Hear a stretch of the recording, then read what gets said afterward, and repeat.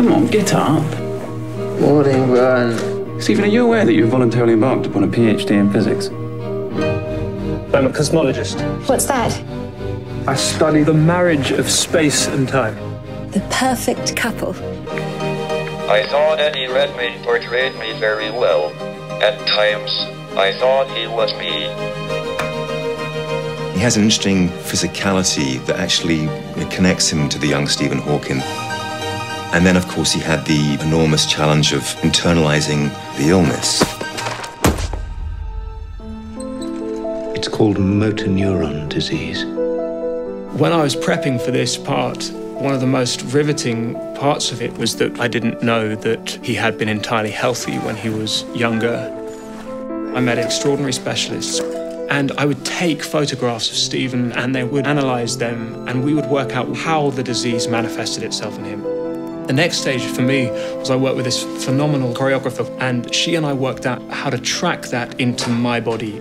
This is temporary. What Eddie had to do was to really understand and internalize these four different stages of illness able bodied, and then on one stick, on two sticks, going into the wheelchair, losing his voice. You don't realize what lies ahead.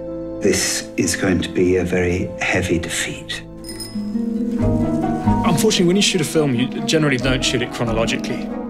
James tried desperately to make that work in the schedule, but it was never going to work. So it was about me working out in the process of preparing how I was going to be able to jump into different physicalities on the same day. First day, we shot exteriors in Cambridge, and in the morning, I was going to be playing Stephen Young and Healthy. It was the scene in which we spin round.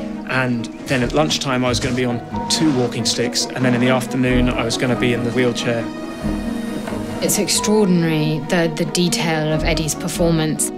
It's just been incredible. He's meticulous, passionate. His just total immersion in, in playing Stephen is remarkable. We're going to fight this illness together.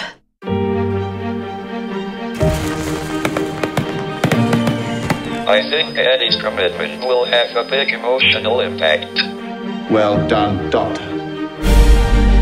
Everything about this job was so inspiring but terrifying that you had just to sort of leap, leap off the cliff.